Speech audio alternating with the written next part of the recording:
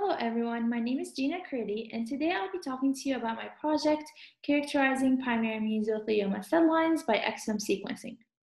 To start with, mesothelioma is a rare and aggressive type of lung cancer.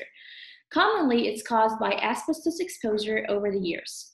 Usually, this type of cancer is detected at later stages, at which point uh, there's no treatment or any effective therapy. Current research is trying to figure out uh, possible biomarkers that can help us detect this disease early.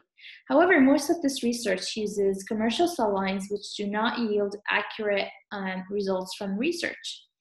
Instead, I use primary cell lines. These cell lines come from real mesothelioma patients, are surgically extracted, and lastly, um, are cultured.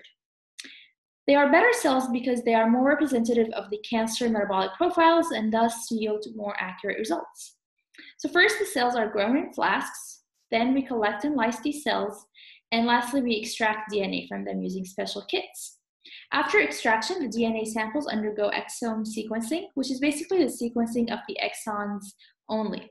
We want to look at the exons because they are the protein coding regions and help us um, identify possible biomarkers um, and by looking at which genes um, this specific disease possibly increases or de decreases the expression of. So after uh, exome sequencing, the data undergoes computation analysis, which lets us uh, figure out which mutations are taking place, um, are they causing an increase or a decrease in gene expression?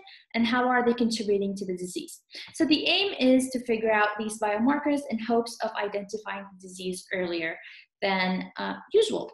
Current, res current results are um, in progress. Thank you.